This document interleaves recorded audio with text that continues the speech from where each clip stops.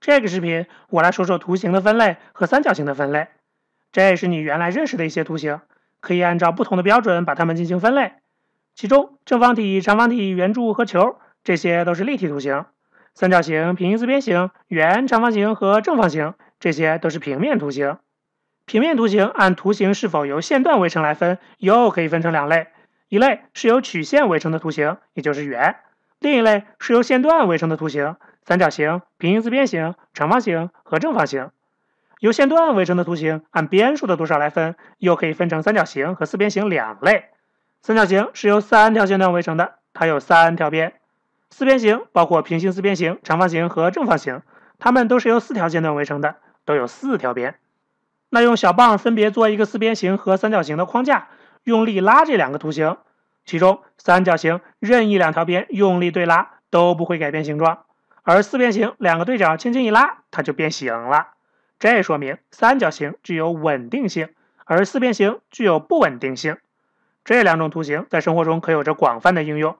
例如，利用四边形的不稳定性制作推拉门，利用三角形的稳定性固定起重机的起重臂。其实，三角形也是多种多样的。根据三角形角的特点，可以把三角形分成三类：有一个角是直角的三角形，这是直角三角形。有一个角是钝角的三角形，这就是钝角三角形；三个角都是锐角的三角形，这就是锐角三角形。把所有三角形看作一个整体，上面每类三角形作为这个整体的一部分，可以用这个图来表示它们之间的关系。任意一个三角形都是这三类三角形中的一类。此外，根据三角形边的特点，也可以进行分类。三条边都不相等的三角形叫做不等边三角形。有两条边相等的三角形呢，叫等腰三角形。在等腰三角形中，相等的两条边叫腰，另一条边叫底。两腰的夹角叫顶角，底边上的两个角叫底角。等腰三角形的两个底角是相等的。最后，三条边都相等的三角形就叫做等边三角形，也叫正三角形。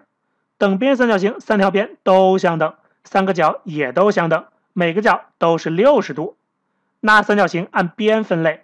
它们之间的关系可以用这样的几何图来表示：这是所有的三角形，这是不等边三角形，这边是等腰三角形，其中三条边都相等的三角形是这一小块等边三角形。